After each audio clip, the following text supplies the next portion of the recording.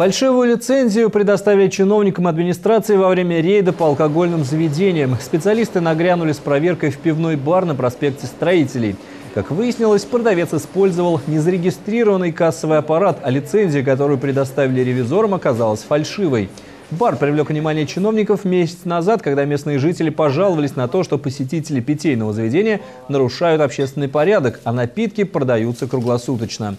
Помимо прочих нарушений, в 10 метрах от бара находится детская площадка. Специалисты изъяли из продажи алкоголь.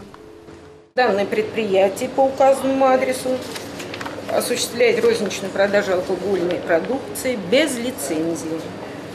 В связи, в соответствии с Кодексом об административных правонарушениях Российской Федерации, если предприятие осуществляет деятельность в отсутствии лицензии, то алкоголь подлежит изъятию.